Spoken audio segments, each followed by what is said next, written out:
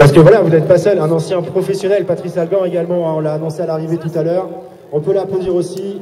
Euh, merci d'être là avec nous. On a du beau monde, hein, on a les, juniors champions de France de VTT, des anciens pros. Euh, bah, bonjour déjà, bienvenue à Rizoul. C'est la première fois pour vous hein, à Rizoul Oui, oui, c'est la première fois. Et quelle équipe déjà J'ai un truc.